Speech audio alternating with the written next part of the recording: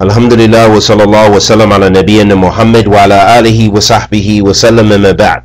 So we've spoke about this several times. One of the one of the rukn or arkan or pillars of the prayer is that we have tutma'nina, which means to be comfortable and relaxed in the positions of the prayer. That you have to be comfortable, relaxed in the conditions of the prayer. Also, you need khushu'. You need to, when you're praying, you need to concentrate. When you're praying, should you be looking at the floor and uh, looking at the designs in the carpet? No. Okay. And when you're praying, should you be cleaning your feet, cleaning your fingernails and your toenails? No. Is that what you're supposed to do when doing prayer? No. Okay. And when you're praying, should you be making yourself really nice and handsome or pretty by fixing all your clothes and spending a lot of time and looking at your nails, cleaning your nails, and, and looking at your watch to look at the time? Okay. So when we pray, when we pray, we focus. We focus on the prayer and we focus on who?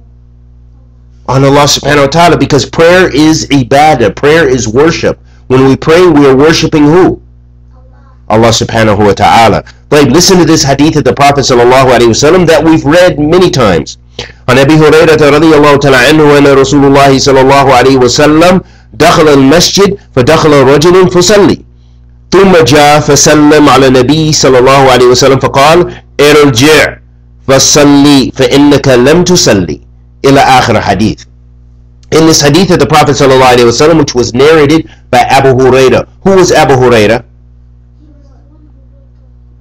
Didn't write the, but he he narrated the most hadith. Jazakallah khairan. So Abu Huraira radiallahu ta'ala anhu, he said that the Messenger of Allah sallallahu alaihi wasallam uh, entered the masjid, and then a man came in the masjid as well. Sana, sit up straight, sit up.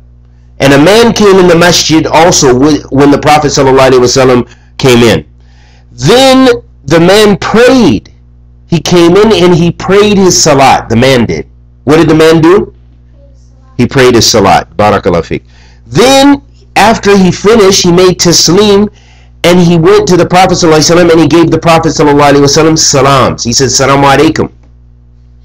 The Prophet ﷺ, of course, returned his salams and then the Prophet ﷺ said, "Re- uh, Return again because you didn't pray. So then the man did it again and he, he prayed again and then he came and he gave salams to the Prophet ﷺ again. He said, Salam alaikum. The Prophet ﷺ said, uh, again, return to the prayer because you didn't pray. The man did it a third time. And then he went to the Prophet ﷺ and gave him salams and did the same thing.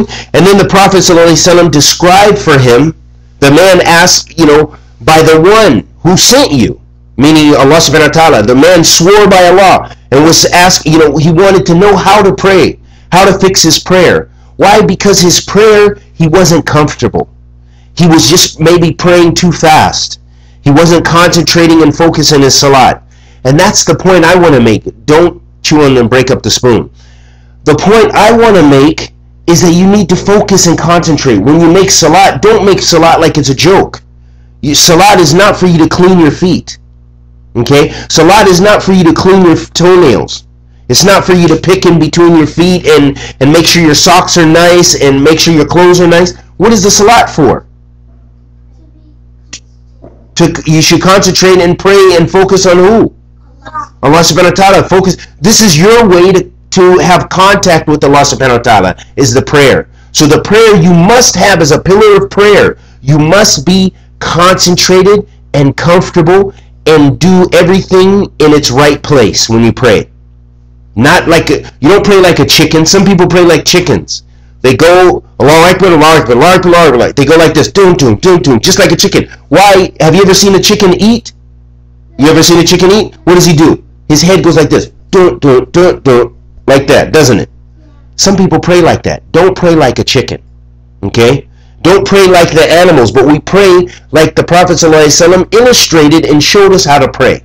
So make sure always we focus when we pray. Concentrate on that this is worship. as soon as you make takbir al-ihram, the first takbir that gets you in the salat, Allahu Akbar, khalas. The whole world, forget the rest of the world. You're focusing on Allah now. You know, it's Allahu Akbar, and you, you concentrate with complete concentration on your prayer. Make your prayer perfect for Allah subhanahu wa ta'ala because you want Allah to accept your prayer, don't you? Yes. Or do you want to just do prayer like exercise? No. Who wants exercise in the salat? No. Okay, Jazakallah khair. When we pray, we want Allah to accept our prayer. And the only way Allah is going to accept our prayer is if we have ikhlas, sincerity to Allah, and it also follows the, the way the Prophet ﷺ prayed. The Prophet said, pray like you see me pray.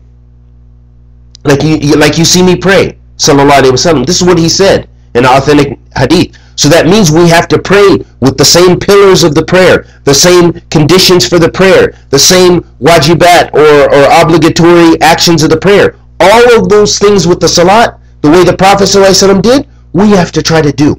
And try to do it as perfect as we can. So that way Allah will accept it. Jazakallah khairan. I ask Allah the Almighty accept our good and forgive our evil. Wa sallallahu wa sallam ala Muhammad.